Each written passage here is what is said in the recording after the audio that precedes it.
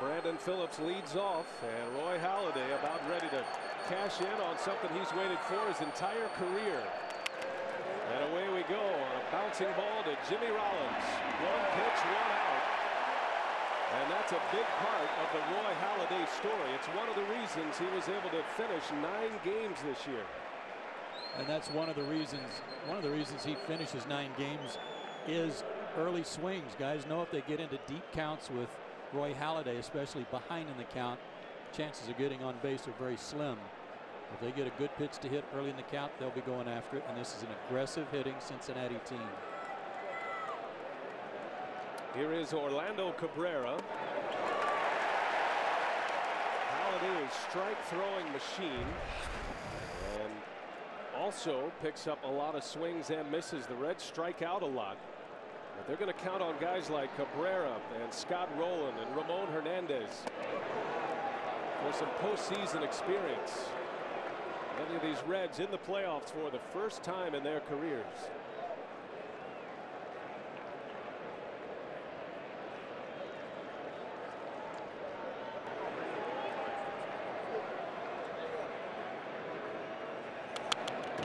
Cabrera is another guy that puts the ball in play early has a low walk total. But here's a guy who's been to the postseason with the Red Sox, won a World Series with Boston. And he has been to the postseason the last four years. The Angels, the White Sox, the Twins last year, and now the Reds. Line drive type hitter, not a lot of power. Didn't miss by much. He'll take the ball the other way, and if he gets behind in the count, he'll certainly go to right field. This one looked like it just missed. And looks like it may have not missed.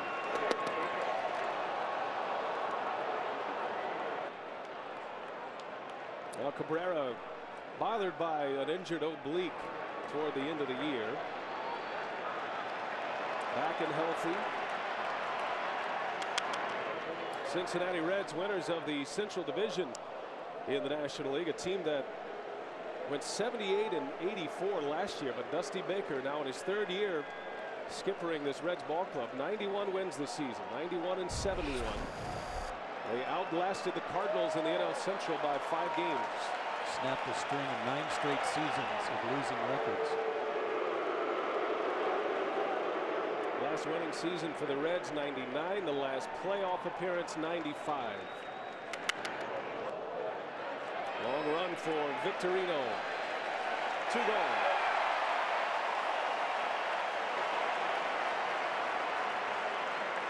League Division Series coverage on TBS is brought to you in HD by BMW, the ultimate driving machine. No stranger to postseason play here in Philadelphia. Fourth consecutive playoff appearance for the Phillies. A World Series title in 08. They finished the season on a string of 123 straight sellouts. And certainly packed in here today. And high expectations in Philadelphia with his team this year. Joey Votto breaks his bat on the first offering from Halladay. Joey Votto's a good low ball hitter. He likes to hit the ball to left center field. He's not just a dead pull hitter. An MVP candidate indeed. He hits the ball to all fields. How about these numbers? A 369 mark with runners in scoring position and huge numbers late in the game. Votto bangs one out. Win. Brian. All right, David, thank you. And uh, Walt Jocketty has put the pieces back together. And David talked about the draft, Joe, but he's also brought in some of his former employees from the St. Louis Cardinals, like the man at the plate, Scott Rolen, who has been a a big part of this resurgence this year. It was kind of a quiet trade last year from the Toronto Blue Jays. It went under the radar, but how good has Rolen been for the Reds this season? Well, it was a deal that raised a lot of eyebrows because of the cash that was going to be needed to take care of Scott Rolen's contract and the fact that he had been often injured. He was traded for Edwin Encarnacion. But Scott Rolen's a seven-time Gold Glove winner, and he's been to the postseason. He's a real gamer in every sense of the word, and he was a kind of presence that this ball club needed in their locker room too. He is a great leader by example, if no other way. Rolen, the former Philly, gets roundly booed every time he's introduced here in Philadelphia. As Halladay strikes him out.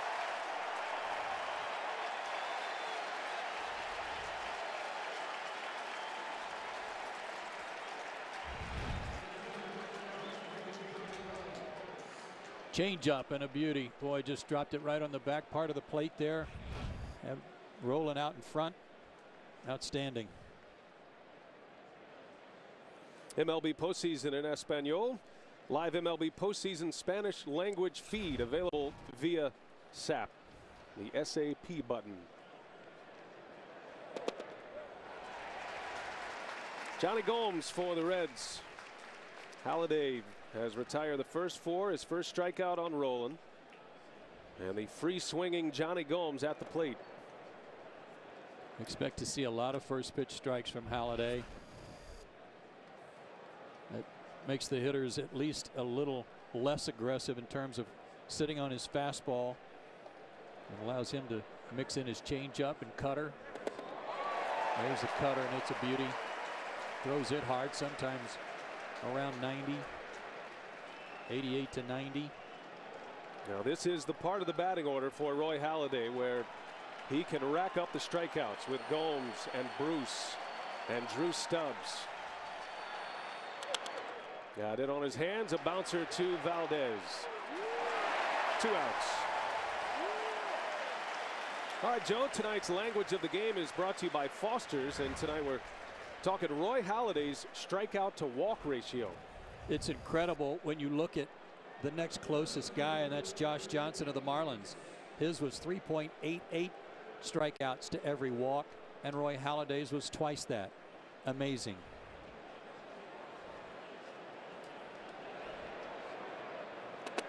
Jay Bruce. Speaking of built from the farm system, here is one of the prize prospects from the Cincinnati minor league system. Jay Bruce Former first round draft pick. And a bouncer out to Chase Utley. And Roy Halladay picking him up and putting him down. Six up, six down as we head to the bottom of the second. And worst case scenario for the Cincinnati Reds as the Phillies chase the Cincinnati starter.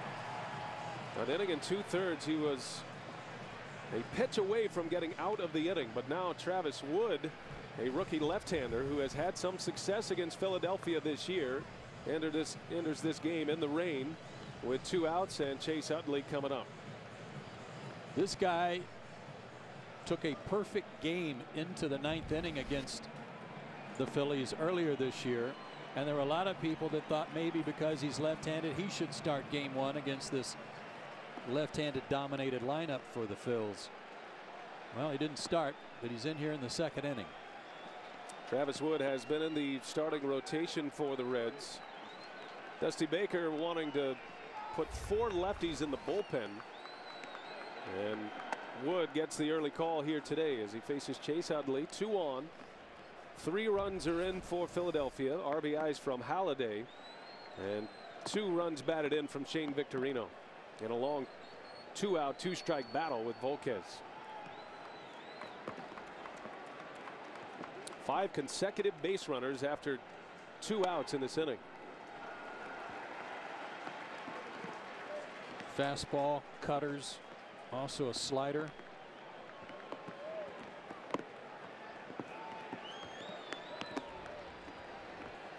Fastball from 89 to 93.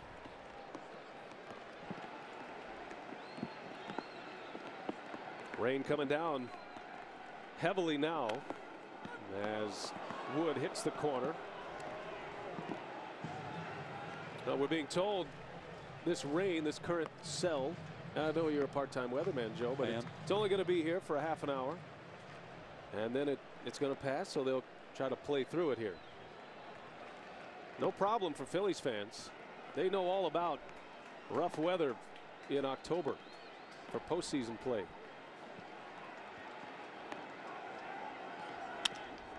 Bouncing ball to Phillips.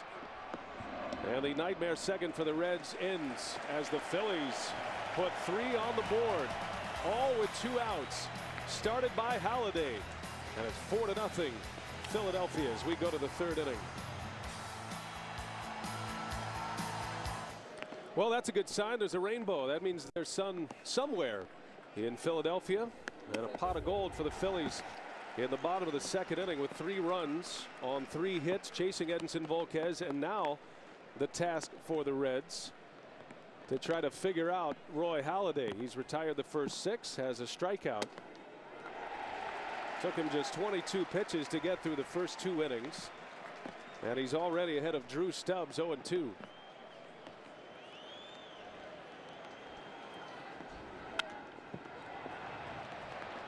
In the infield, who wants it? It'll be Valdez and Howard come together, and the much taller Ryan Howard makes a catch for out number one. If that was going to be a jump ball, I think Ryan Howard would win just about every time. All he had to do is just reach up, and he's going to get closer to it than Valdez. But even after the bump, Valdez lost that collision too. It's the only sport where a world class athlete standing on the mound is not allowed to catch a pop up. He's a pitcher. Oh, that's right. He's not necessarily an athlete. There you go. Coming from an outfielder. Mm-hmm. Now Halladay with one away here in the third inning. And looking for the shutdown inning after the Phillies put three on the board. And there's strike one again. He is now eight for eight in first pitch strikes. And a lot easier to throw first pitch strikes when you're up four to nothing. Ramon Hernandez, talented Cincinnati catcher. Got some postseason experience.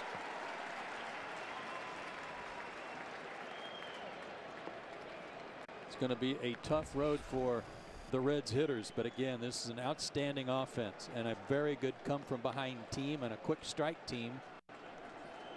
But they got to have some base runners. That is a fair ball, and Ruiz makes the play on Hernandez.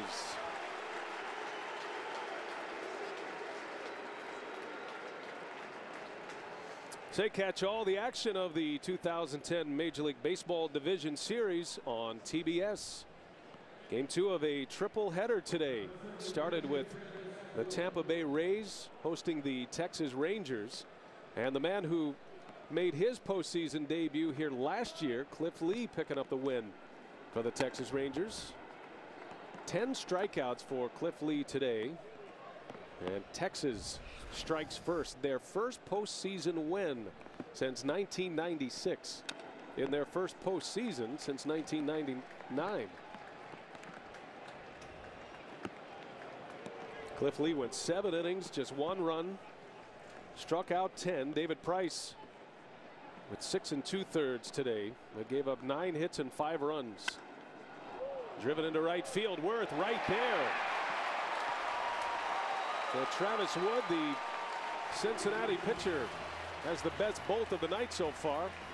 But it's another one, two, three inning for Big Roy. Game one of the NLDS Phillies and the Reds. Roy Halladay has retired the first nine on the mound for the Phillies. Meanwhile, offensively, Philadelphia with three in the second. After scoring a run in the first, four to nothing. Ryan Howard leads off against the young lefty, the rookie Travis Wood. Edinson Volquez goes an inning and two thirds. You were talking about Cliff Lee a minute ago. This guy's from Arkansas, Travis Wood, and you say he works out with Travis Lee somehow in the in the wintertime. Yeah, they're good buds in Arkansas. Live close to each other as Wood strikes out Ryan Howard. Well, he was the Southern League Pitcher of the Year last year at an ERA under two, and the Reds Minor League Pitcher of the Year. Not overpowering, but good control.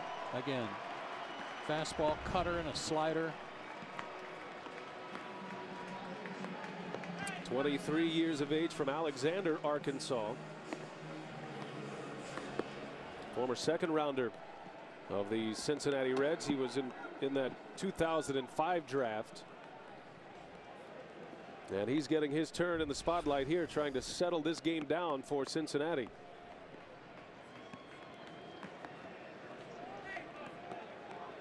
Five eleven, 165 pounds. I think the 5'11 is a little bit generous.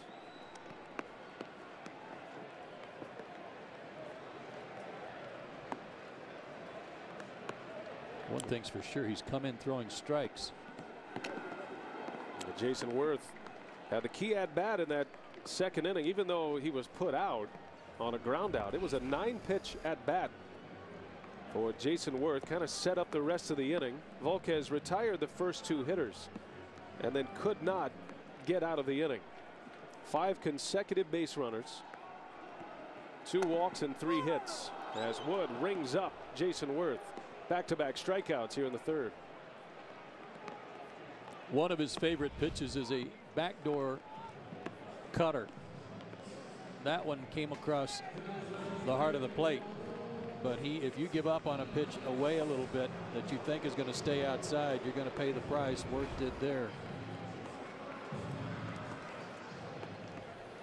Well, Travis Wood and Mike Leake, the two rookie pitchers for Dusty Baker this year. Mike Leake has a shoulder injury and he is not on the postseason roster. But in the first half, it was Mike Leake who it was a big surprise in the Cincinnati rotation and a big reason why the Reds were able to stay in the race in the National League Central. In the second half of the season, it was Travis Wood.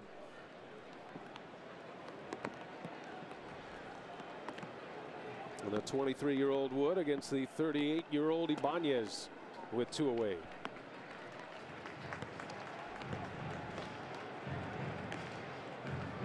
It's a pretty tight strike zone tonight from crew chief John Hirschbeck.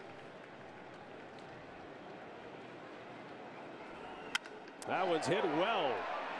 Back is Bruce over his head. It bounces off the wall. Ibanez is going to challenge him here. And the throw is late. That's a double for Ibanez. And more two out trouble for the Cincinnati Reds.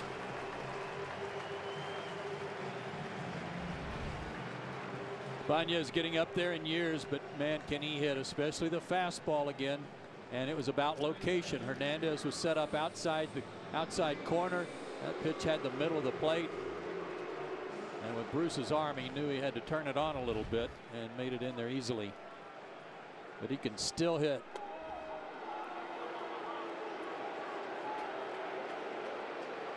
Now Cincinnati will pitch around Ruiz to face Wilson Valdez. Base runners are usually what you try to avoid in this ballpark with so much home run clout in both of these lineups.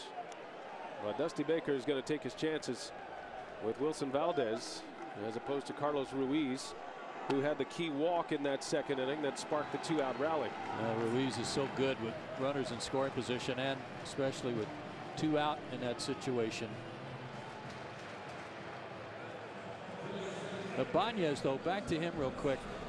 He had the real good second first half last year and then a bad second half and a bad first half this year to the point where the Phillies thought, well, you know what, he may be used up. It was basically a whole year of poor hitting by Raul and he got it turned around the second half and he's still hot.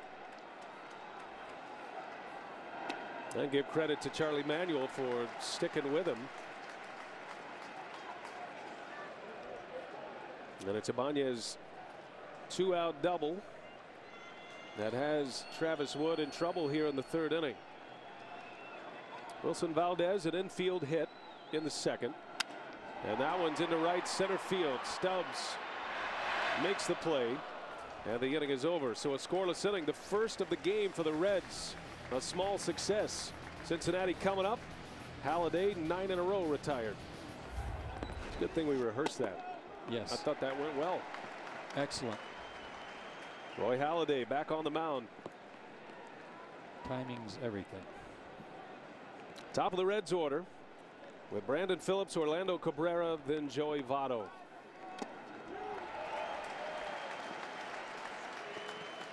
Phillips swung at the first pitch in the first inning, bounced out to short. Most of the outs on the ground against Halladay so far.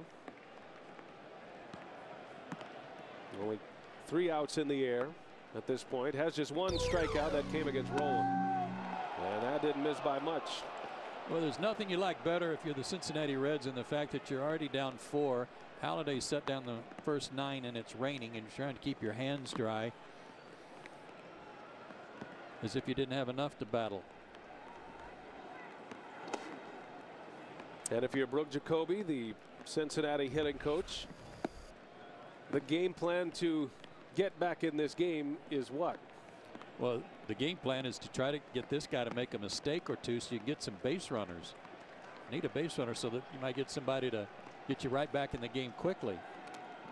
Well, that hit Phillips, I believe, or they're going to call it a foul ball. Caught a piece of the bat.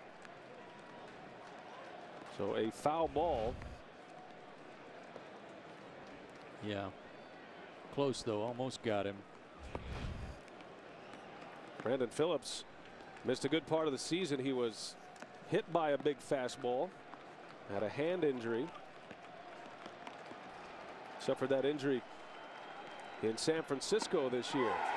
As Halladay strikes him out. A called strike three. The second K for Roy Halladay.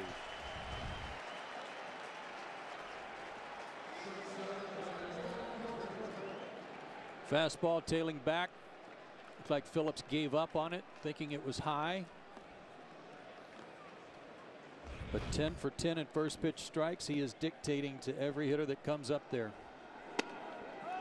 Well, last year the Phillies had Cliff Lee starting game one, making his first postseason appearance. This year it's Roy Halladay, and Halladay is rolling along a lot like Cliff Lee did last year. Lee went the distance against the Colorado Rockies in game one of the LDS last year. And a series that the Phillies would win in four games on their way to the World Series. 0-2 on Cabrera. Man, oh man. Roy Halladay locked and loaded here early. His third strikeout. Brian, I know it's been a few days since he pitched, and this is the ninth day. But folks around the, the Phillies camp said that in his last start against Washington, uh, was his last start of the year, and he still pitched a complete game, went nine innings. And they had already clinched the division title. A two hit shutout against Washington, no walk, six strikeouts, and everybody said it might have been the best game he pitched all year outside the perfect game. Had the perfect game against the Marlins in Miami at the end of May. As if Halladay was just dialing it up for the postseason in his final regular season start. Joey Votto. That gives you an idea of the stuff of Halladay. Votto's a good fastball hitter. And, and he's is, late on a 91 mile an hour fastball. And he was the first time up too. Remember he broke his bat on the first swing and then jammed him on a ground ball to second. He's trying to tie him up inside. Let's see if they stay in there. On the ground. Long throw from Rollins and it is a good one. A cannon from Jimmy Rollins. A one, two, three inning. Halladay continues to deal. We head to the bottom of the fourth. Back in Philadelphia, Citizens Bank Park. Game one of the NLDS, Phillies and the Reds, and Roy Halladay had a big ovation when he was announced to lead off this fourth inning. As well as he's pitching, having retired the first 12 in this game. Halladay's base hit really opened it up in the second inning for Philadelphia. An RBI single from Roy Halladay gave the Phillies a two to nothing lead and Bugs Bunny would be proud and he kind of has the Bugs Bunny swing and miss changeup going does Roy Halladay. Sure does. On the run is Bruce and he's got it in foul territory. And we're pleased to be joined now by Red skipper Dusty Baker. And Dusty, the obvious question, how do you guys get back in against Roy Halladay, who looks like he's on his A game at this point? Well, he's definitely on his A game. And the thing he has going, he's throwing quality strikes. Uh, strike one, he's getting ahead of guys. Looks like he has great movement tonight. Main thing, we just got to string together some hits. And, uh, you know, we might have to start attacking him early, early in the, uh, in the count. Because right now, it's not working what we're doing. Hey, Dusty, I know we talked about this earlier today about if, if Volquez didn't have his good stuff and had to come out early. You had Wood ready to go. Well, you have that scenario.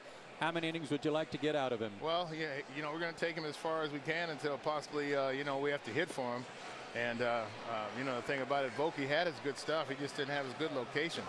And, uh, you know what, uh, uh, the hit that hurt was a two-out RBI by Doc Halladay, you know, who's usually doesn't get many hits. And then the then the big hit by Victorino, you know, the blooper in there. So, you know, he had good stuff. He just didn't have his location, and that hit by Doc Halladay really hurt. And our thanks to the Red skipper, Dusty Baker, for giving us a little bit of time and uh, a tough decision for Dusty Baker as Edinson Volquez was so close to getting out of that second inning. And all of that damage done with two away. Four to nothing in this ballpark typically doesn't look like much. Runs can be easy to come by, but with Roy Halladay on the mound, it looks like a mountain at this point for Cincinnati. It looks that way, but you're right, Brian. The way the ball jumps out of this ballpark, and, and there's not a lot of wind tonight to knock anything down that might be headed for the seats. Uh, you're still in this ball game, and the Reds. I think Dusty's right. I think you got to be a little more aggressive on that first pitch strike that he's throwing so often. He's 10 out of 11, 11 out of 12 now in that category, especially if you get a good fastball to hit. Well, Travis Wood posted the first scoreless inning of the game for Cincinnati. Had a couple of strikeouts in the third inning. Gave up a double to Ibanez, then an intentional walk.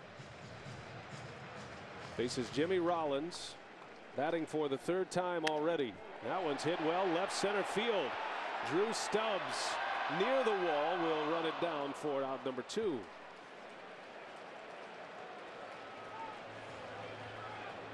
Well, we're keeping an eye on Jimmy Rollins tonight. He has the hamstring tightness. Came back at the end of the year. Said he's okay. Said he's 100%, but he hasn't really had an opportunity to unleash and to do a lot of running. But that'll certainly be a big question for Charlie Manuel as this series and this postseason continues for Philadelphia. Well, he's a vital part of their offense, especially with the running game. And we noticed something on the base hit by Victorino. Now, this was a 3 2 count, and Rollins is running from first. And he's not really sprinting, but this little ball dunked in there, and that's normally a pitch that he, or a swing, that he usually goes first to third easily on, and he only made it to second base on a full count with two out. I think that gave us a pretty good indication that he's far from 100% running wise. That might be something to pay attention to. With that said, we asked Charlie Manuel about his his health status because the decision to put him in the leadoff spot in the batting order depends on Jimmy Rollins' ability and willingness to run. I mean, speed is part of his game. The Phillies are already without Placido Polanco. Not sure how long he's going to be out. The day off tomorrow will certainly help the Phillies in that regard. But they're already a man down in their infield everybody understood how and why Charlie Manuel chose the longer series, the eight day series, because of his three aces. He could use them and no one else if need be if he went to a game five. But it also was an advantage for Dusty Baker in his bullpen. If he had to use some guys, say go to his bullpen in the fifth inning or sixth inning and use some guys, well, then they would get a day off for his bullpen too. What he hadn't counted on was having to go to the bullpen in the second. Victorino skies one out to Stubbs. And a 1 2 3 inning for Travis Wood. He has settled this game down for the Reds. Cincinnati coming to bat against Halladay. Sellout crowd at Citizens Bank Park in Philadelphia. Scott Rolen leads off against Roy Halladay. Halladay four no hit innings. He has three strikeouts, punched out two in the fourth inning. His first strikeout was Scott Rolen. Just great movement on everything tonight. I'd say that he was really ready and jacked up for this first postseason appearance. He's waited a long time. Big cut and a miss. Well, Halladay has thrown 46 pitches at this point, only eight out of the strike zone, 38 for strikes.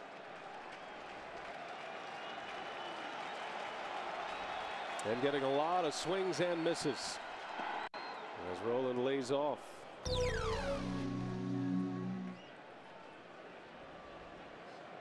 Eleven years Roy Halladay before he makes his first postseason start here tonight. 320 major league starts under his belt.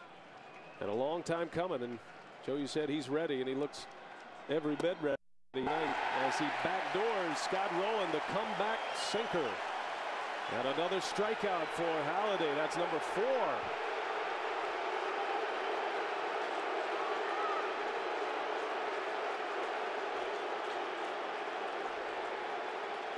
Pleased to be joined now by Rich Dubee, the pitching coach of the Phillies. And uh, Rich, Roy Halladay looks like he's on his game tonight. Give us uh, your take from your seat.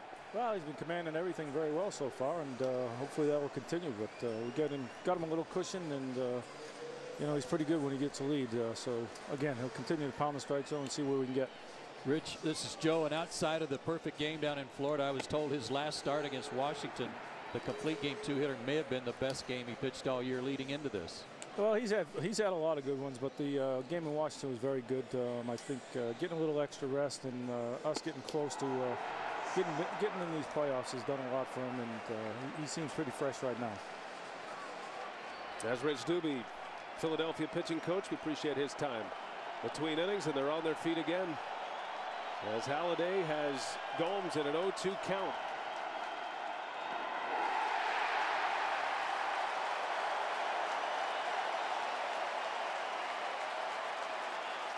Number five for Halladay. 14 in a row he has set down. Here are the last two strikeouts. The one that Scott Rolen thought was outside. That did try to come back and was off the plate. He had reason to be upset. And then Gomes chasing a bad ball. And that's exactly where Ruiz wanted it. He wanted it to bounce up there. Well, you heard Dusty Baker last inning say he'd like to see his hitters try to jump on Halladay a little earlier. Try not to get down in the count. But Halladay, so smart, has countered. Some changeup, split fingers, first pitch. Well, I, I give Ruiz a lot of credit for that too, Brian, because he's recognizing that the Reds are trying to get out on him in the early part of the count. So he's mixing it up. Now the first goal for Cincinnati is to get Roy Halladay in the stretch. He's been pitching out of the windup this entire game.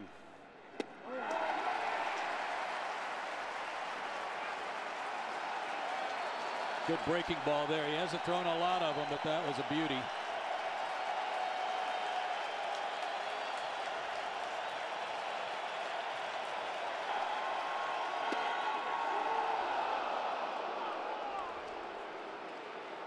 Three ball count. That ball went down. It didn't come back. He was trying to throw that backup fastball, and it didn't. 3 2 pitch. And Bruce lays off. So the first base runner for Cincinnati comes with two outs in the fifth inning. As Jay Bruce draws the walk. And now the Reds with their powerful lineup hoping for a quick strike here with two outs. Yeah, the bottom of the, their lineup is no slouch either with Bruce Stubbs and Hernandez. Stubbs had a great finish to his season. Hit 350 over his last 24 games and raised his average 18 points. He was a guy that at the beginning of the year I thought Brian was I mean you just spin the ball and he'd chase set up to hit fastballs and pull everything but with the help of Brook Jacoby their hitting coach and Dusty Baker he's started to hit the ball with some authority to the other to the opposite field and it's really helped him. 22 home runs during the regular season. And that goes along with 30 stolen bases. He is a power speed threat, Drew Stubbs. Just his second year in the major leagues. And he was on a fast finish during the regular season as well from August 1st, hitting over 300. And there was a time there for Cincinnati. The Reds made a deal for Jim Edmonds, who was unable to go in the postseason with an Achilles injury. That Stubbs playing time was in question. And just as they brought Jim Edmonds in in a trade with the Milwaukee Brewers, Stubbs got hot and it ended up being a no-brainer that Stubbs not only became the everyday center fielder down the stretch for the Reds, but also the starting center fielder for the postseason. And can really run. And at this stage of Jim Edmonds' career, Stubbs is actually a better center fielder. Ball and two strikes. And a bouncing ball out to Rollins. Hitting over. Perfect game lost. No hitter still intact. 4 0 Phillies. And it might be time to start calling your friends because Roy Halladay has five no-hit innings and has some serious swing and miss stuff at this point. Uh, his stuff is uh, certainly not out of the question for him to maybe go nine this way because the way his ball is moving. What a start for him in his first postseason outing. Halladay with five strikeouts. Travis Wood has come on and pitched well in relief. Edinson Volquez speaking of swing and miss stuff he's the guy you expect a lot of swings and misses but just two swings and misses from the Phillies in Volquez inning and two thirds. It was a quick exit for the red starter. But Wood has posted two scoreless innings after he got out of the mess in the second.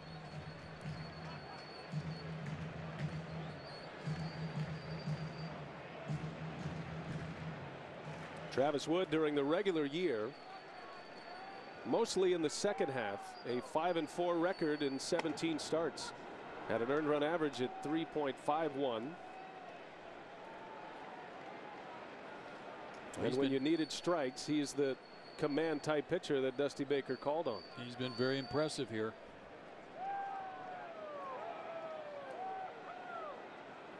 Chase Utley and the 2-2 fouled away. He's 23 years old too. Those Southern League numbers last year when he was the pitcher of the year in Double A in that league, he was nine and three with a 1.21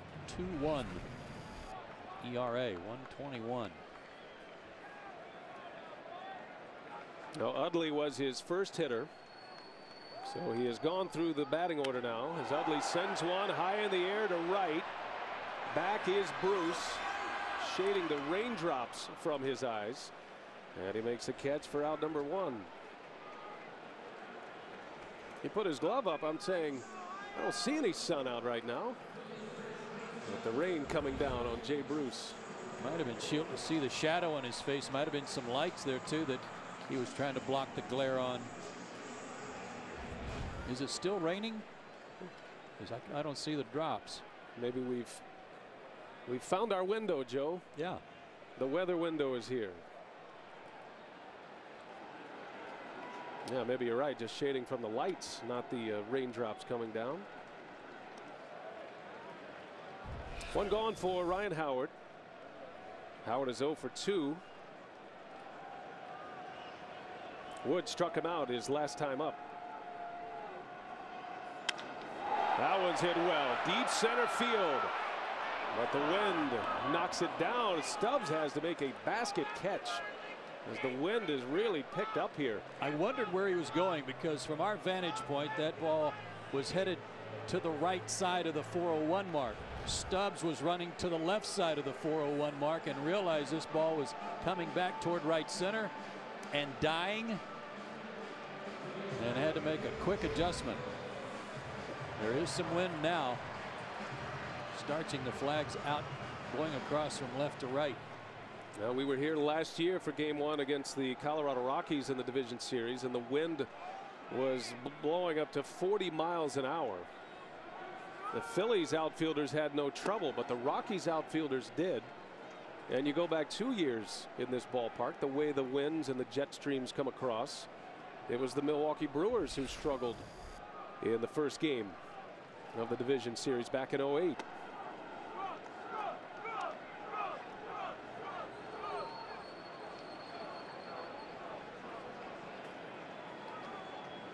Ball and a strike on Jayson Werth. Count goes to one and two. So the Phillies with four runs and we got Howard and Werth combined 0 for 5 so far. Phillies went 23 and 7 after September 1st to put away the division and they did it largely without Utley and Howard being hot hitters and they're 0 for tonight yet they still lead 4 to nothing. We head to the sixth. Halladay back on the mound. Now the story right now is Roy Halladay. As Ramon Hernandez sends one in the air, Jayson Werth And one away in the sixth.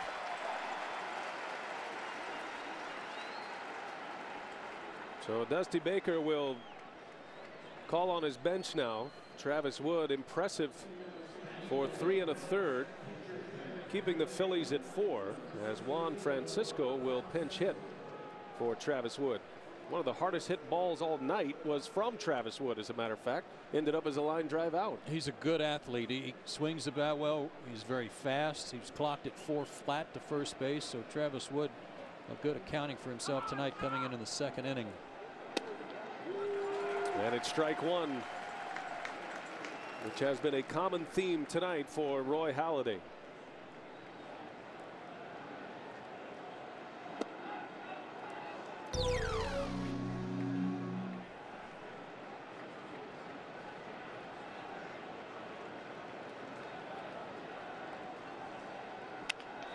Back up the middle.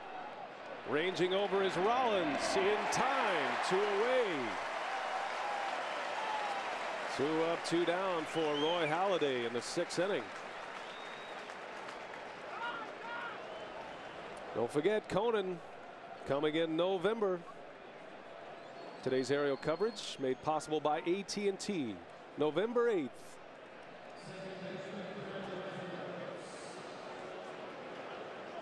And a great view of Citizens Bank Park, South Philadelphia. Beautiful. Great ballpark. An electric atmosphere here. They sell out every day, regular season, postseason. Boy, they have something to watch this year. Plenty of stars offensively, Joe, as we talked about in the open. This is a club, the Phillies, that have won the National League East year after year, perennial contenders in the playoffs. Now they're starting to talk about a dynasty here in Philadelphia. But arguably the three best starting pitchers you could assemble for a postseason run. It reminds you of back in the mid 90s with the Atlanta Braves when No they were question. rolling out John Very- Smoltz and Very comparable. Glavine and Maddux and even Steve Avery. Yeah. But they kept adding two people, adding people to those guys that were not necessarily compliments to them, but made the staff that much deeper. It is Jayson Werth. And it's six innings of no hit ball for Roy Halladay. Can he keep it going? Four to nothing Phillies. New pitcher for the Reds, Logan Ondrusek. And he inherits a 4 nothing deficit here. Raul Ibanez leads off. The tall right-hander Ondrusek, 6'8". 6'8", 225 out of Shiner, Texas. And lots and lots of cutters from this guy. 91 to 95 on his fastball, but he developed a cutter that pretty much saved his career. Ondrusek. Well, oh, he throws it away. And Ibanez on his way to second. Had an out right in front of him. Ondrusek lobbed one to first base. And that'll be an error on the pitcher.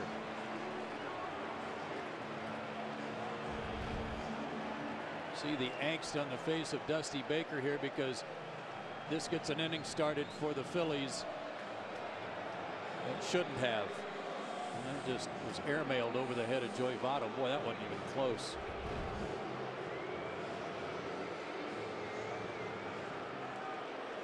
And Ramon Hernandez trying to settle down Ondrusek.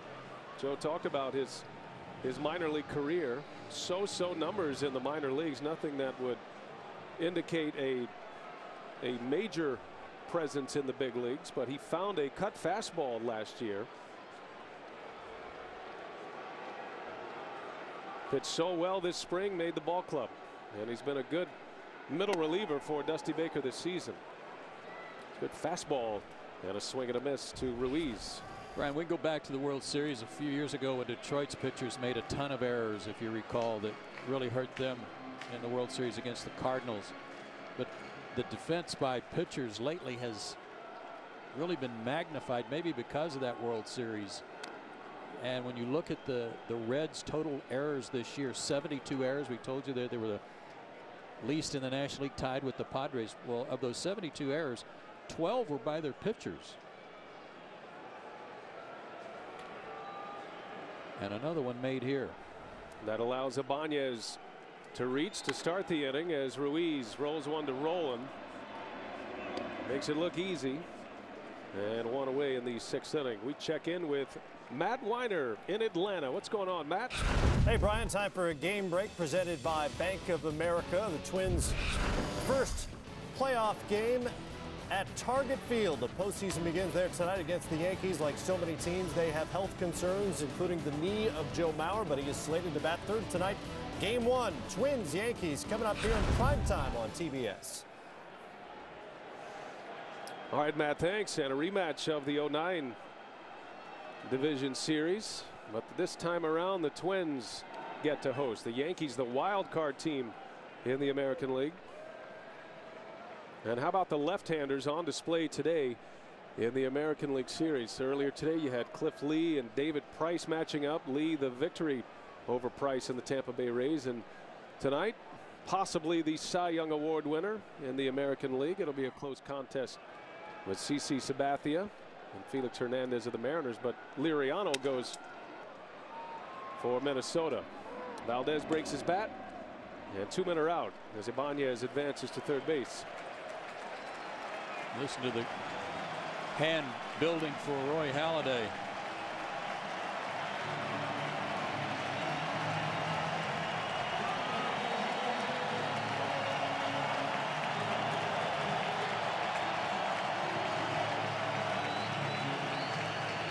I love that sign. Doc Halladay. He's known as Big Roy around here. Little Roy will pitch tomorrow. Roy Oswalt, or rather Friday. And underhand this time. Not a bad idea. Ondrusek makes the adjustment. he, he learned. Halladay's the headliner. Six no-hit innings. Center stage belongs to Roy Halladay tonight. Game one of the NLDS. Halladay has not allowed a hit through the first six innings. The longest no-hit bid in the postseason since Daisuke Matsuzaka pitching for the Red Sox in 08 against the Tampa Bay Rays. He went six no-hit innings in the ALCS of 08. Seeing this is what make, makes him so tough. He starts off the inning with a real slow curveball for a called strike. And then he busts Cabrera right in on his belt buckle to keep him honest and keep him off the outside part of the plate. It's not that he just has good location, folks. It's not that he just has a good changeup. He throws hard too. He's been around 93, 94 all night with movement. Orlando Cabrera is 0 for 2 with a strikeout. Halladay with five strikeouts so far tonight. And the 1 2 fouled away. Howard will give it a look. That'll end up in the seats. Charlie Manuel told us today in our pregame meeting with him that he calls Roy Halladay a big Greg Maddux. He said he's bigger, stronger, and throws a little harder. But he said he pitches the same way and with the same effectiveness in, out, up, down, and throws strikes with all his pitches. I thought that was a tremendous compliment.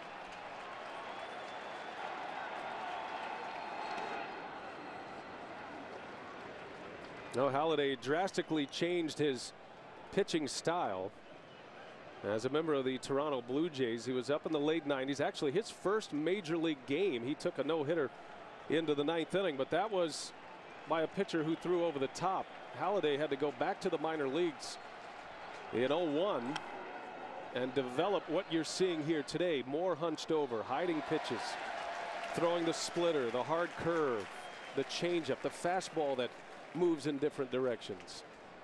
Because over the top, he couldn't keep that consistency, couldn't stay on top of the baseball.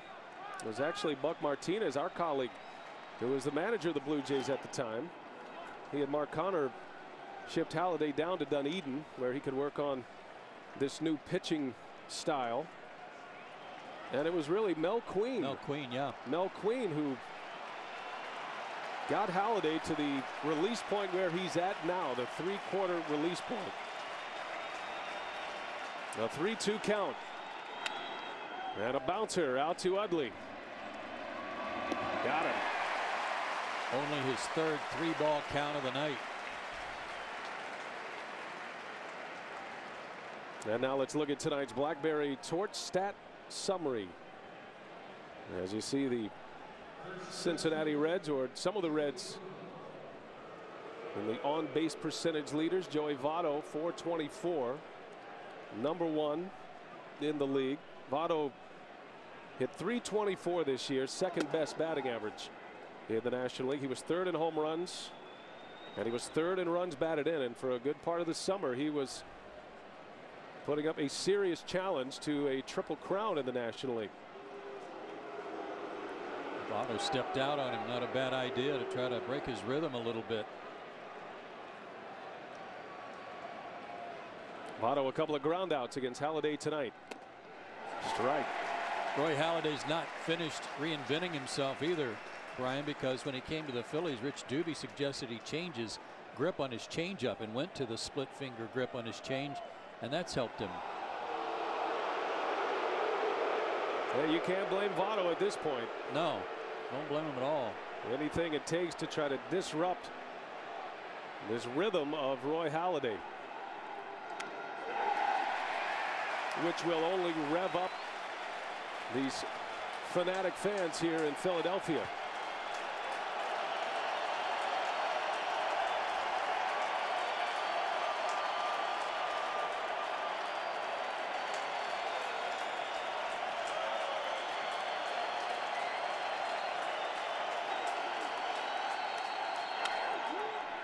Over to third. Here's Valdez. In time, two away in the seventh inning. And the ground balls keep coming. From all different angles, all different types of pitches. He will change his arm slot just a little bit for some right-handers at times to get them maybe to buckle their knees some if he's going to throw a slider. He doesn't do it necessarily to lefties, but he will drop down a little bit more on right-handers. Sounds like Scott Rolen's turn to hit. Yeah.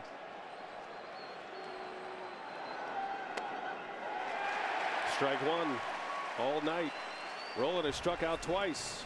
Argued a call in the fifth inning.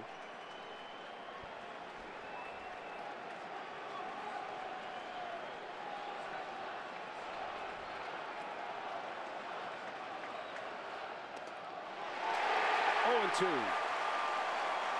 Got a high strike call. 19 out of 22 first pitch strikes.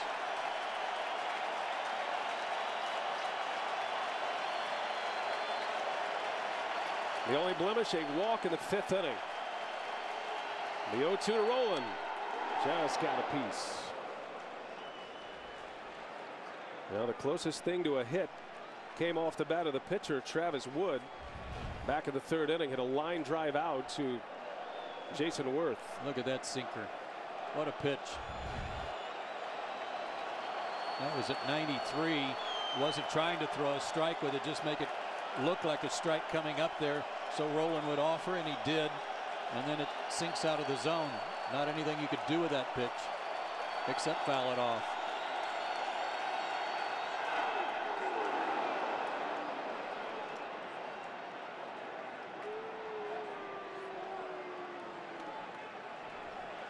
I want to show you something here.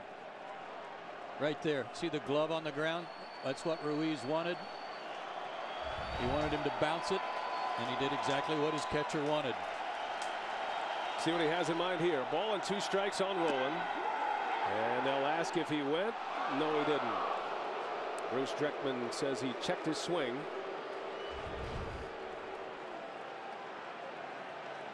And nice. a good call. He stopped it. So two and two. Two out, seventh inning. Got him.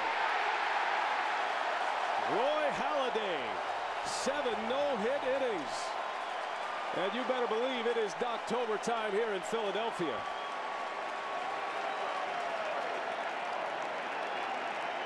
Four to nothing Phillies. The story is Halladay. He is not allowed a hit through seven innings. And he is six outs away from a no-hitter. The only blemish today for Roy Halladay was a two-out walk to Jay Bruce. Otherwise, he's been perfect. The only hard hit balls really all night have come from the nine spot in the order. Travis Wood, the pitcher, lying to right, and the pinch hitter, Juan Francisco, hit a sharp grounder back through the box that almost got through into center field, but Jimmy Rollins made a good play on it.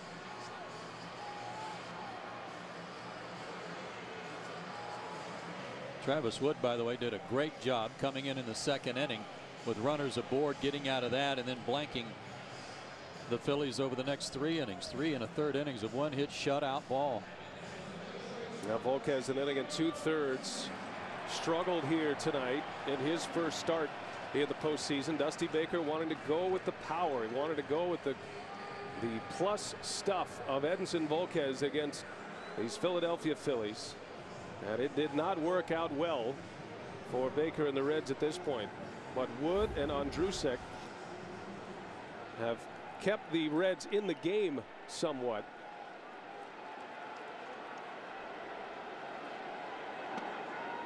But right now, it is a long hill to climb for the Cincinnati Reds against Roy Halladay.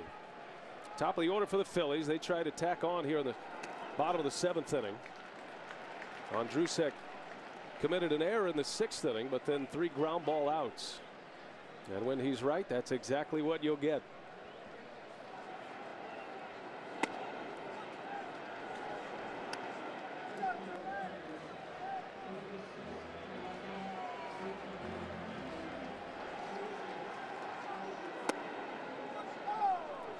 Well, Cincinnati feels very strongly about their young pitching.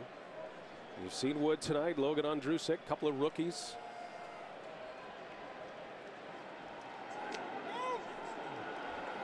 And a breaking ball, and Rollins able to check his swing. The Reds' most playoff experienced pitcher is Bronson Arroyo, and he'll get the ball Friday against Roy Oswalt.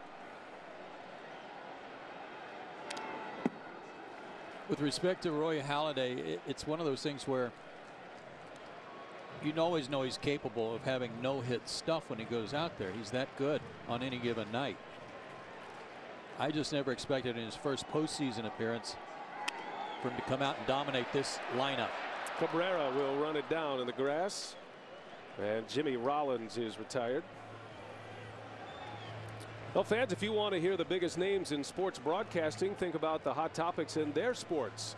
Check out Behind the Mic presented by Allstate exclusively on SI.com. Over 46,000 on hand tonight at Citizens Bank Park as we kick off the 2010 postseason. Rangers beating the Tampa Bay Rays earlier today. Cliff Lee, a Philly last year and a star in the postseason for the Philadelphia Phillies, picked up the win for Texas earlier today. And in the middle game of our triple header, it's Roy Halladay.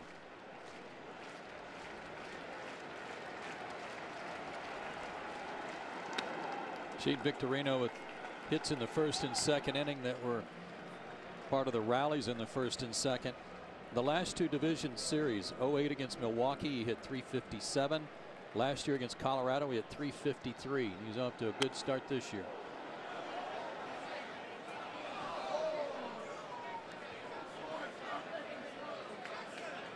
Now Victorino with that one out double in the first inning quickly stole third base and that kind of set the table for the night at least in the early going as Victorino takes a strike. And it was a long battle between Victorino and Edinson Volquez in the second inning. Won by Victorino with that two out RBI single drove in a pair of runs. By the way, for Volquez, the shortest outing in a postseason since Hiroki Kuroda lasted an inning and a third for the Dodgers against guess who? The Phillies last year. That was in game three of the NLCS. So the Phils chase another one early here tonight. It's Victorino skies one. Joey Votto wants it. Almost squeezed it out. But the bullpen for the Reds has done exactly what it needed to do, and that's hold the Phillies off, hoping the offense could come back and mount a charge against Halladay. He just hasn't cooperate, cooperated. Well, with Chase Utley coming up, a lefty, Dusty Baker will go to another left-hander in that bullpen. Bill Bray loosening. And we'll have a pitching change here. So two outs in the Philadelphia seventh. Four to nothing Phillies will set up Bill Bray when we come back. Back in Philadelphia, where Roy Halladay at age 33 is showing what he can do in his postseason debut. He said yesterday that he really liked being in Toronto. He loved pitching for the Blue Jays and for their fans. But he was growing concerned that at this stage of his career, he would never get an opportunity to show what he could do in a postseason. He said that he had a limited window of time and that he had to make the most out of every opportunity he had going forward. He wanted to come to Philadelphia. He wanted to come to the Phillies because he liked this organization and he knew this organization with its veteran players would have a chance to compete for a championship actually said that if he hadn't been traded to Philadelphia, he may well have stayed in Toronto this year and then explored free agency over the offseason. Brian, I think he's done pretty well in his first playoff experience. Well, no doubt about that. And reminiscent of Cliff Lee, even better than Cliff Lee a season ago. And remember, the Blue Jays still paying the freight for Roy Halladay this year. His extension kicks in next season. So he signed a long-term deal with the Philadelphia Phillies. And what a ride it looks like it's going to be for Phillies fans with Halladay on the mound. Now the Phillies with two outs. And it's Bill Bray out of Dusty Baker's bullpen to face Chase Utley with two outs and nobody on. And Bill Bray, one of four lefties that Dusty Baker can call on. The, the, one we're all anxious to see, Joe, excuse me, is Aroldis Chapman. Yeah, I'm anxious to see that fireballer. This guy's pretty much a slider machine against left-handed hitters. Not overpowering. His fastball in the high 80s generally. Right back to him. Nice play. And Bray is out of the inning. So it's back on Roy watch. Six outs away from a no-hitter in game one of the NLDS. Stay with us. Well, the Philadelphia Phillies have had 10 no-hitters in their history, including Roy Halladay's perfect game against the Florida Marlins on May 29th in Miami. Struck out 11 on that occasion. Just a brilliant performance, but honestly, Brian, I don't know that his stuff's any better then than it is tonight. He has been brilliant tonight. Jonny Gomes leads off for the Reds. Everything from a 94 fastball to a 79 changeup, speed wise, and everything in between with his cutter and slider. Well, a breaking ball. Well, 1968 as is officially known as the year of the pitcher. This was kind of the reincarnation of the year of the pitcher with five no-hitters this year. Halladay with one of two perfect games this season. And down goes Gomes. They'll have to secure it at first. No problem. Five outs away from a no-hitter. Seven strikeouts.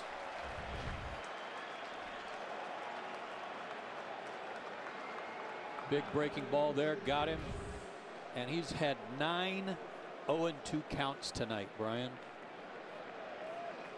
That is just dominating. Unbelievable. Here's Jay Bruce, the only base runner of the night against Roy Halladay. He walked back in the fifth. Halladay's got it. Four outs away. Two up, two down in the eighth. Well, the longest no-hitter since Jim Lonborg of the Boston Red Sox went seven and two thirds against the St. Louis Cardinals. That was in game two of the 67 World Series. Of course, the last no-hitter in postseason play, Don Larsen, the most famous of the no-hitters. That was in 56. Halladay four outs away. Two gone in the eighth. Here's Stubbs. Strike. and still peppering that fastball in at 93. Again, a workhorse, nine complete games this year. Led the league in that category. Led in innings pitched, 250 plus innings. He's only thrown 93 pitches.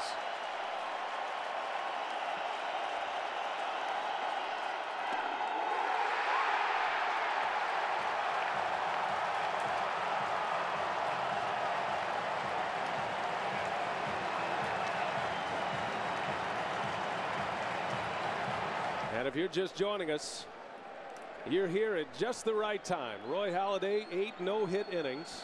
We'd love to show you Roy Halladay in the dugout, but talk about being iced. He ices himself. He goes underneath into the clubhouse. That's his normal routine, though. Yeah. He makes it easy on the rest of the players. He may be working out. I mean, this guy is so dedicated to his regimen between starts. He may be getting a head start on that somewhere. So it's Bill Bray back on the mound to face Ryan Howard. Yeah, the right-hander next and Jayson Werth, then the lefty Ibanez.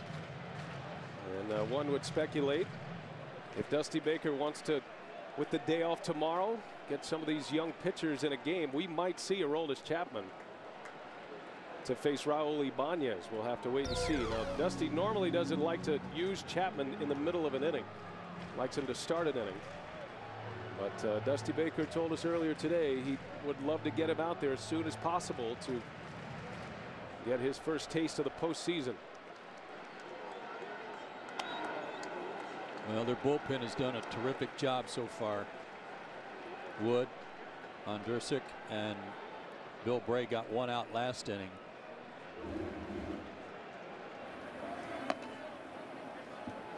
Nick Masset getting ready for Jayson Werth. Phillies got a run in the first, three in the second. One of those driven in by Roy Halladay. He swung at the first pitch he saw from Edinson Volquez and drove in the second Philadelphia run. Ambushed a fastball and hit it hard.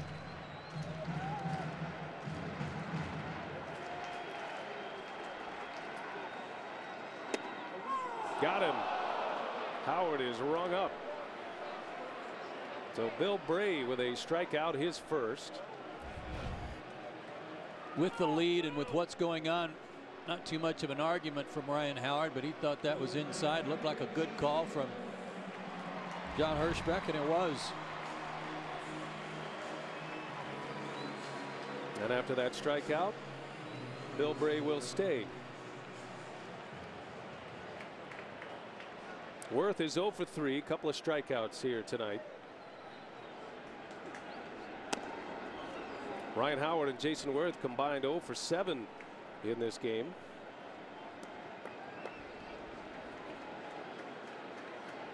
The Phillies have had just one base runner since the fourth inning. And that was on an error by Ondrusek. As Bruce makes the catch Two outs, two up, two down for Bray. And now let's take a look at tonight's Nissan game summary. Edinson Volquez started, went an inning and two thirds, chased early, and it was all a two out rally by the Phillies in that three run second inning. Roy Halladay, eight innings of no hit baseball. It's about all you need to know right there.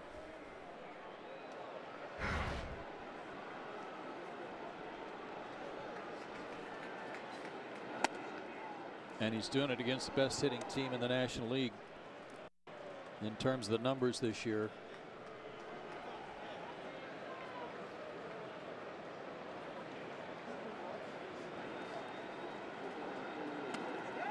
What is a strange feeling here at Citizens Bank Park. Normally, Phillies fans want to see offense. They want to see hits, home runs, it kind of feels like they're ready to get this inning over with. they want an out so they can put Roy Halladay back in the middle. Well, their offense has been the focal point of their ball club the last three years in the postseason. Yes, they've had good pitching, got great pitching from Hamels, for example, in their drive to the World Series two years ago. Last year they had Hamels and Lee and Moyer and Blanton. They had a nice collection. Hamels not as good last year as he was in 08. But now, different story with their three aces at the top of their rotation.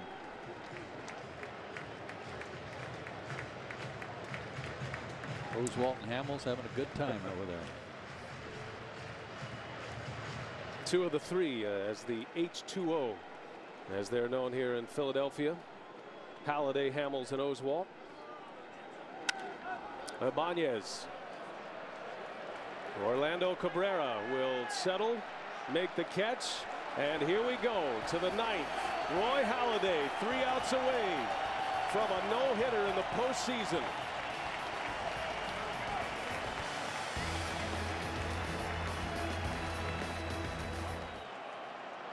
Four to nothing, the Phillies. The story, Roy Halladay. And history on the line here in Philadelphia. All zeros. Eight no-hit innings for Halladay at his first postseason start. Don Larsen, he's looking for some company here tonight. Game five of the 56 World Series threw the perfect game, beating the Brooklyn Dodgers. Strike one. That has been the story all night for Halladay as he gets ahead of Ramon Hernandez in the ninth. Big shocker there getting ahead in the count. Only three three ball counts all night. In the air. Chase Utley. Nothing is routine at this point. Utley makes the catch. One gone. The only thing standing right now between Halladay and another perfect game was a walk back in the fifth inning.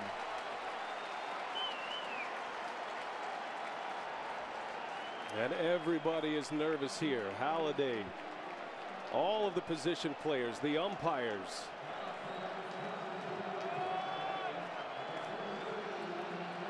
With the pitcher spot coming up, Dusty Baker will send Miguel Cairo, a Philly last year, to the plate to pinch hit. Well, another comfort for Roy Halladay is knowing how good his defense is behind him.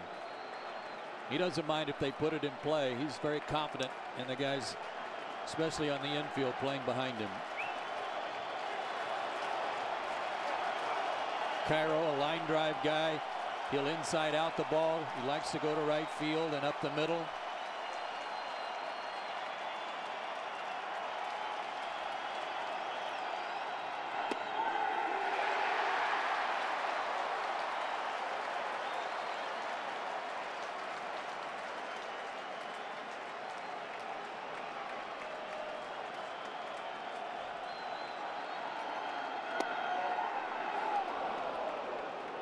Well, in the history of Major League Baseball, there have been four pitchers to throw two no-hitters in the same season, at least two. Nolan Ryan is the last, 1973 with the Angels.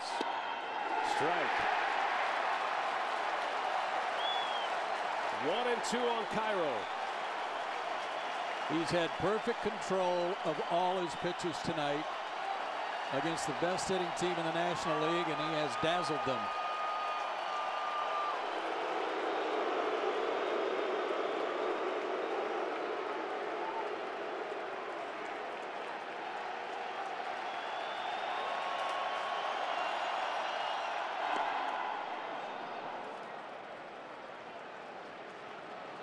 They've tried stepping out on him, waiting him out. Nothing has thrown Roy Halladay off his game tonight. Pitch number 100 on the way from Halladay.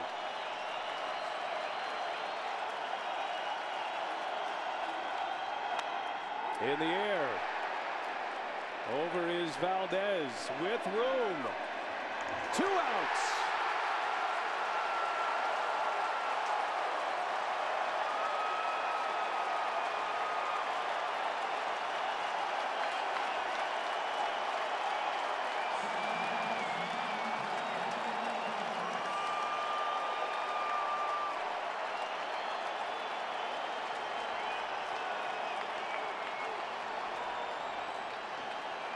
The Reds' last hope, Brandon Phillips. And one more piece to the puzzle for Roy Halladay. And he's a first pitch ambush hitter if he delivers a fastball strike. Gave him a fastball. Phillips took it. Probably the best pitch he will get to hit this at bat.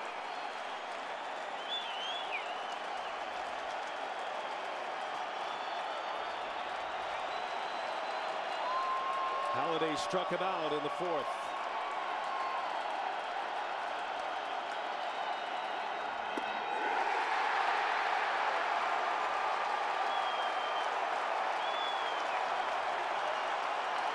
Can't even begin to tell you how loud it is here, folks.